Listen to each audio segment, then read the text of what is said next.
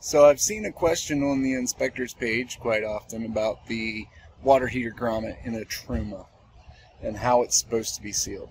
So typically there's a little yellow uh, zip tie that goes around the rubber seal.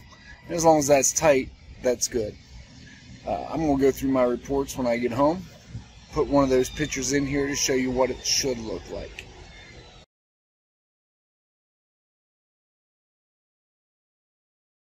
But what I'm going to do is I'm going to turn around my camera.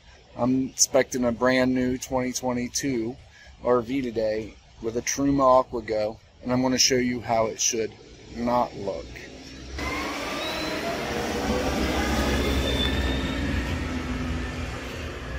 So if you look in there, you can see that rubber looks like it's been ripped up, torn apart. There's yellow zip tie right there that was never installed on it. Uh, probably because that grommet is too short to do so. So,